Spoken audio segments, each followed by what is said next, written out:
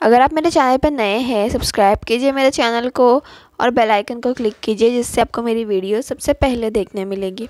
आज हम बहुत ही टेस्टी पनीर मसाला पास्ता बनाने वाले हैं, जिसे आप बिना ज़्यादा मेहनत के कभी भी बना सकते हैं।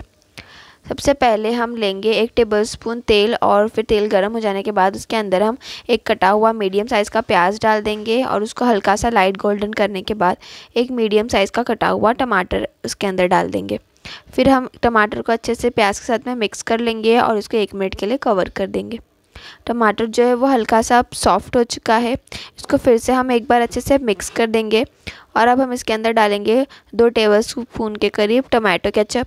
ये बिल्कुल ही सिंपल तरीके से पास्ता बनने वाला है। इसके लिए रेड चिली सॉस या फिर कोई और सॉस यूज़ करने की इसमें बिल्कुल ज़रूरत नहीं है। फिर हम इसके अंदर डालेंगे बॉईल किया हुआ पास्ता बस पास्ता को नमक और थोड़ा सा तेल डालकर हमें अच्छे से बॉईल कर लेना है और फिर बाद में हम इसके अंदर इस डाल देंगे। फिर अच्छे से हम इसको टमा सब चीज़ों के साथ में मिक्स कर देंगे। अब हम लेंगे यहाँ पर पास्ता मसाला आप यहाँ पर कोई भी ब्रांड का पास्ता मसाला यूज़ कर सकते हैं। और फिर एक टेबल स्पून के करीब हम यहाँ पर पास्ता मसाला को ऐड कर कर हम पास्ता के अंदर अच्छे से मिला देंगे। और लास्ट में हम इसके अंदर डालेंगे पनीर, जिसको हमने छोटे छोटे क्यूब्स में कट कर लिया है। अगर आप चाहें तो बड़े साइज़ में भी पनीर को कट कर सकते हैं।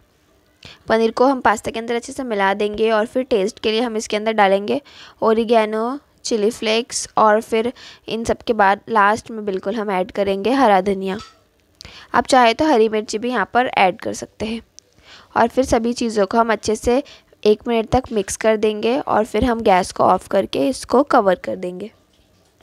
और ये लीजिए हमारा बहुत ज़्यादा टेस्टी मसाला पनीर पास्ता बिल्कुल ही तैयार है।